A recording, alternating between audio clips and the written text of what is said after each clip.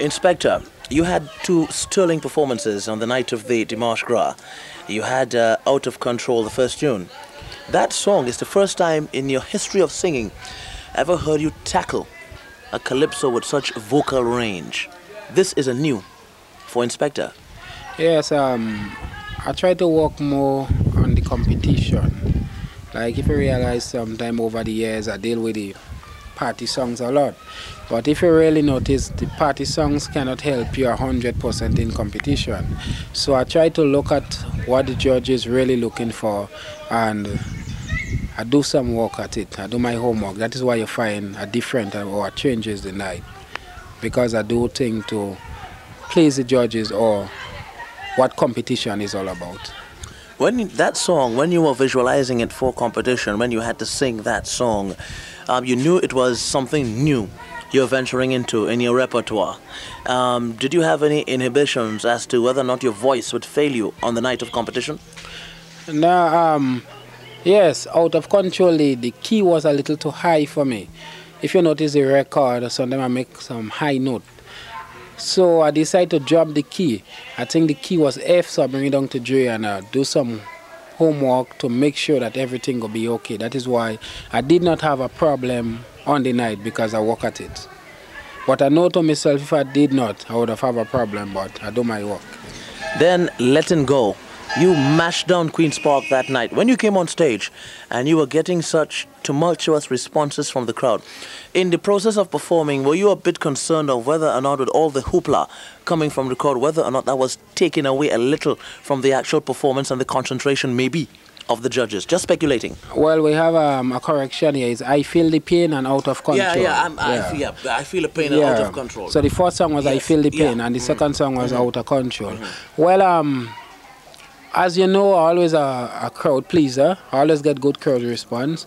So I know I would have get a strong crowd response tonight because the lyrics was okay, is what the people wanted to hear, plus the performance and inspector myself. So I try to stay away from the crowd a little. When I say stay away, like, although I know the crowd response, go be there, but I try to not to get carried away with the crowd. With all the noise they're making, I try to keep straight on my singing. Because if you're judging me and you see I get crowd response, and then you see I start bawling or get carried away, at least you will take out points for that.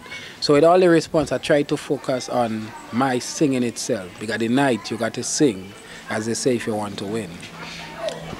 Specky, um, the night of performance, uh, the, the, standard of the competition, I mean, you placed 50 yes. Maybe you're not satisfied with that positioning, but when you look back at the uh, at the actual crowd responses from the that the Calypsonians got that night, how would you analyze the standard of the competition?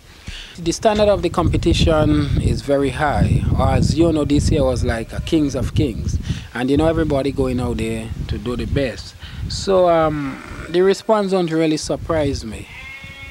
I was quite surprised with some of the mistakes in that with some of the Calypsonian. Because I was saying to myself, I know it could be a fight, and like artists go try to put out the best. But I know the night, maybe a little nervousness, or maybe some people get carried away, or I don't really know what to say, but the standard was high, you know. So I was quite satisfied. Inspector, as it applies to what you're thinking right now, I mean, the competition is over, all of that excitement is now gone, and so the process of Calypso goes on, and Inspector has to go on. So, what are you looking forward to right now? Well, to um, do shows like out of Grenada because the season down here, I need to go and promote myself, the music, and also promote Grenada.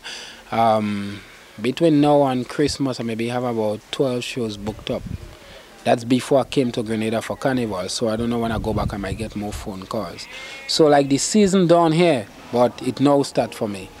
So the progress is there, like after hitting hit England, Canada, the St. Croix, the regular place as usual. We saw at the night of the Marsh Grove, the Calypsonians opening the show, everybody coming out together and joining hand, hands in a unified manner. Your thoughts on that? Well, that was very nice because um, the people, the fans, create a lot of problem. The fans try to put Calypsonian against one another, although everybody big enough to control themselves and don't let the fans control them.